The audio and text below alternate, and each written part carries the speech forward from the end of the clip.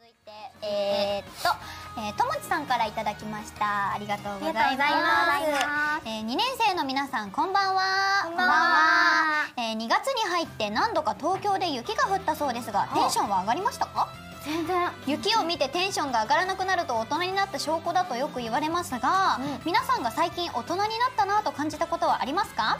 まだ19歳のともりちゃんももし大人になったなと感じたことがあれば教えてください。ではでは19歳のともりちゃんね。19歳ねなんだろうね。最近、前はなんかラジオとかでこう、台本に書いてないこと言うのが苦手だったんだけど、最近うまくアドリブできるようになった。すごい。いや私もそうなりな。い怖い。19歳怖い。すごいよ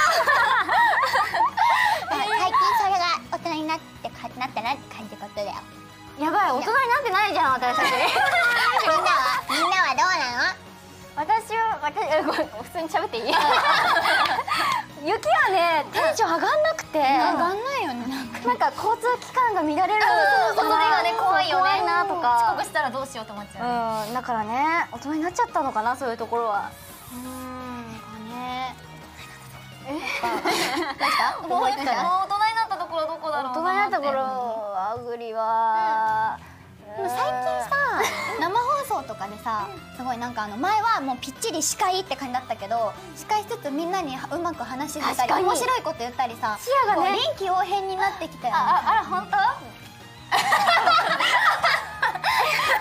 恥ずかしい。ごめんなさい。ごめんなさい。調子乗りました。ごめんなさい。ちゃんとみんな成長してるよ、はい、やった。ありがとうございます。ありがとうございます。ありがとうございます。はい。じゃあ最後なっちゃん。続きまして、ペンネームあやの